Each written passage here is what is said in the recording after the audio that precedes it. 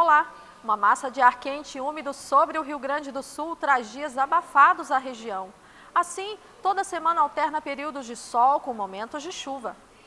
No Vale dos Sinos, a terça-feira será de sol entre nuvens e chuva a qualquer momento, mínima de 24 e máxima de 31 graus. No Vale do Paranhana, o sol predomina pela manhã e a instabilidade deve chegar na parte da tarde, mínima de 24 e máxima de 31 graus. Tarde com pancadas de chuva localizadas também no Vale do Caí. A temperatura varia entre 25 e 31 graus.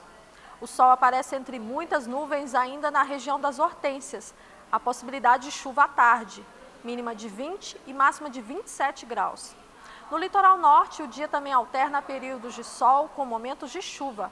A temperatura varia entre 24 e 29 graus. Pancadas de chuva marcam a tarde no Vale do Gravataí.